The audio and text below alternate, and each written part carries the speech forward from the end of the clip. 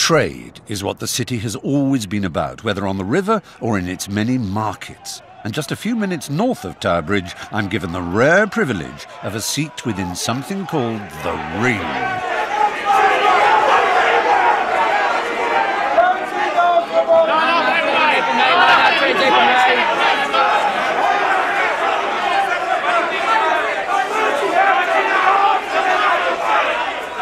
The cliche image of the greedy 80s is of men in bright coloured blazers shouting.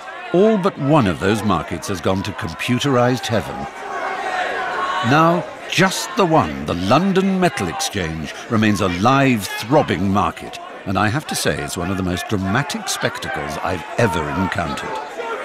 Apparently, the guys sitting with me in the ring are dealers buying and selling metal futures, say a thousand tons of zinc in three months' time, the ones standing just outside are giving them instructions, which they're getting from their colleagues in the outer ring who are on the phones to the clients, who might be, say, Peugeot cars wanting to buy aluminium for next year's production line.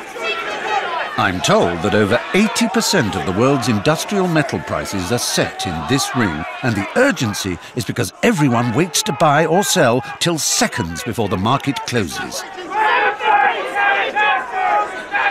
Vem, vem, vem!